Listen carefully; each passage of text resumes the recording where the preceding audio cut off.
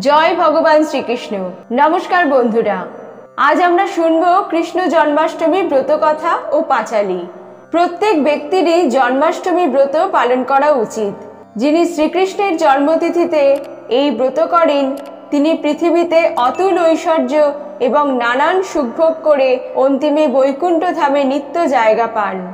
জন্মাষ্টমী ব্রত কথা ও পাঁচালী। দিলীপ ডাকিয়া বলেন বশিষ্ঠ মুনিরে? শ্রীকৃষ্ণের জন্ম কথা কহত আমারে। ভাদ্র মাসে কৃষ্ণ পক্ষে কেন গদাধর?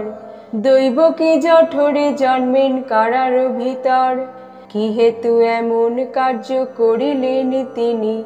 বিস্তারিয়া সব কথা কহ মহামুনি। বশিষ্ঠ বলেন, তবে শুনহ রাজন কি হেতু কারার জন্ম নেন জনার্দন? বসুন্ধরা ছিল পূর্বে কংস অধিকারে।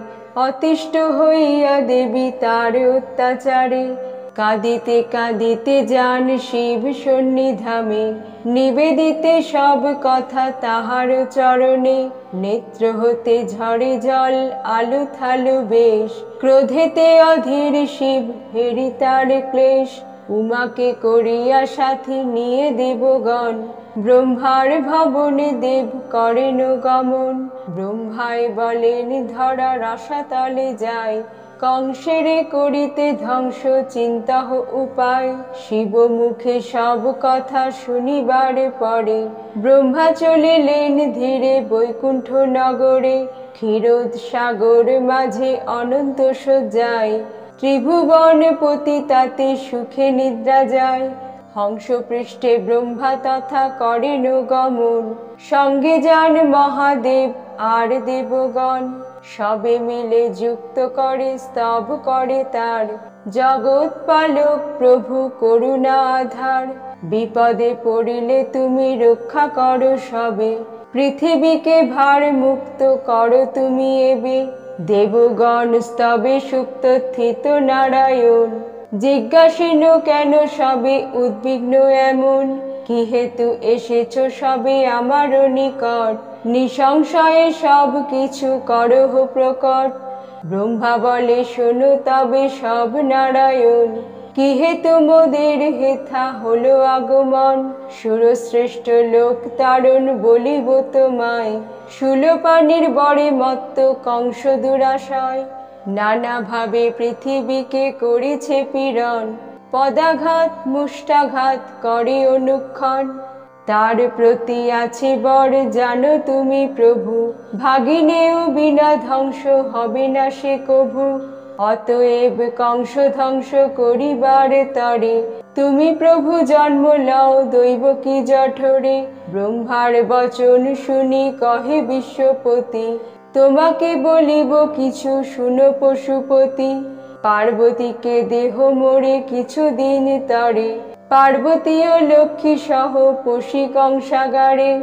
অতঃপর বিশ্বদেব ইচ্ছা অনুসারে জগন্মাতা প্রবেশিল যশোদা জঠরে। নয় মাস, নয় দিন গর্ভে করি বাস অবশেষে ধরা মাঝে হলেন প্রকাশ। ভাদ্র মাসে কৃষ্ণপক্ষে অষ্টমী তিথিতে। রোহিণী নক্ষত্র ছিল ঘোর রজনীতে। একে ঘোর রাত্রি তাহে ঝড়ে বাড়ি ধারা। মেঘ মেদুর গগনেতে নাহি ফোটে তারা। অন্ধকার কারা মাঝে বুঝি শুভক্ষণ দেবকীর কোলে জন্ম নেন নারায়ণ। মুহূর্তে আকাশ চিরি হলো বজ্রপাত। সেসব দেখা কাঁপিল বুঝি অসুরের নাথ সেই ক্ষণে যশোদার কোলে জন্মে শিবা। অন্ধকার কক্ষ যেন আলোকিত দিবা। হেথায় বৈষ্ণবী মায়ায় রক্ষকেরা সবে, নিদ্রাচ্ছন্ন একে একে কৃষ্ণ জন্মে যাবে।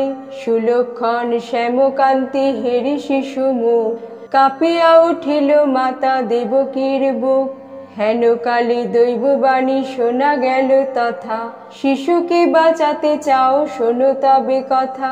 নন্দগৃহে যশোদাঙ্কে জন্মেছে কুমারী। এ শিশু বদলে তাকে অনতরা করি। তাহাকে দেখিলে কংস মনে পাবে ভয়।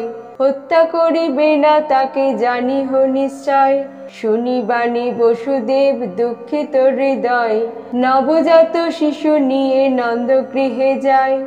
পথে জল পূর্ণ নদী আছিল যমুনা। খরস্রোতে তরঙ্গময়ী অতীব ভীষণা। কেমনে হইবে পারে ভাবে মনে মনে? হঠাৎ অপূর্বক দৃশ্য পড়িল নয়নে। যমুনা হয়েছে কিনা জানু মাত্র জল। শিবা এক সহ যেতে পায় তার তল। দেখি আশান্বিত হলো পিতা বসুদেব। পুত্র লয়ে নদী মধ্যে করে পদক্ষেপ। মায়া করি জগন্নাথ, পিতৃ অঙ্ক হতে। স্বইচ্ছায় পড়িলেন সে নদী জলেতে। অতি দুঃখে বসুদেব করেন ক্রন্দন। পিতৃ দুঃখ দেখি দুঃখী হন নারায়ণ। জল ক্রীড়া পরিহারি দেব জনার্দন। পিতৃ অঙ্কে পুনরায় করে আগমন। অবশেষে নন্দালয়ে বসুদেব পাশে, যশোদা আচ্ছন্ন সেথা নিদ্রার আবেশে, পুত্র বিনিময়ে কন্যা ক্রোড়ে লয়ে তুলি, সেথায় সকলে নিদ্রায় পড়িয়াছে ঢলি, কারাগারে ফিরি দেখে দ্বার খোলা আছে, কন্যারে আনিল তবে দেবকীর কাছে, দেবকী সন্তান লাভ বার্তা শুনি রাজা চরে বলে আন তাকে বোধি পাব মজা। কংস চর কারাগারে প্রবেশ করায়। দেবকীর অঙ্ক হতে কন্যা লয়। কংসের হস্তেতে যাবে করে সমর্পণ। অট্টহাস্য হাসে কংস অতি অনুক্ষণ। আছাড়ি মারিতে তাকে শিলার উপরে। আদেশ করিল কংস নিজ অনুচারে, প্রভু আজ্ঞা অনুচার করিতে পালন। কন্যারে ধরিয়া ঊর্ধ্বে করে উত্তোলন।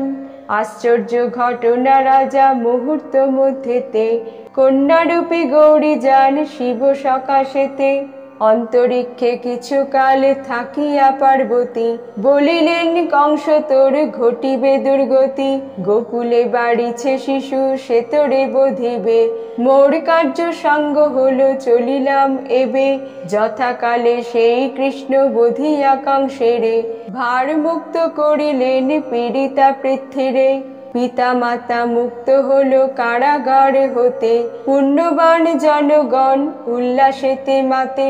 এই জন্য হেরাজন জন্মাষ্টমী ব্রত, শ্রেষ্ঠ ব্রত বলি সদা জগতে কথিত। যেই জন এই ব্রত করে ভক্তি ভরে, সেই জন জীবনান্তে যায় বিষ্ণুপুরে। অথ জন্মাষ্টমী ব্রত কথা ও পাঁচালী সমাপ্ত। জয় ভগবান শ্রীকৃষ্ণ, জয় গুরুদেব।